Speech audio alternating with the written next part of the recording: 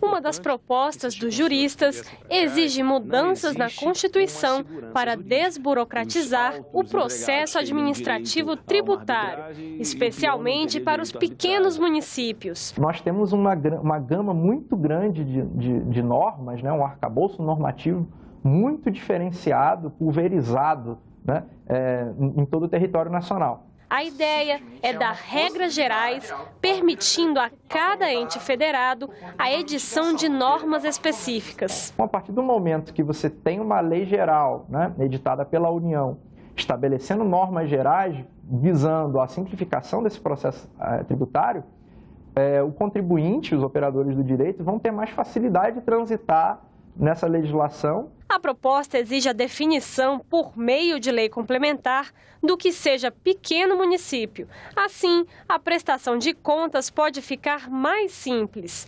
Ela também estabelece que mudanças na tributação só podem ser cobradas se definidas até 30 de junho do ano anterior ao exercício fiscal.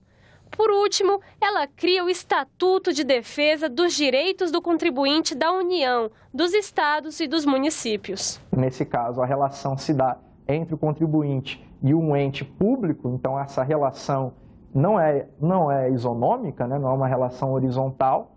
Então, em princípio, esse código vai é, buscar aí fortalecer, no caso, o hipossuficiente, que é o contribuinte, da mesma forma como o Código de Defesa do Consumidor buscou favorecer o consumidor que, em regra, é hipossuficiente em face das empresas com as, com as quais ele contrata.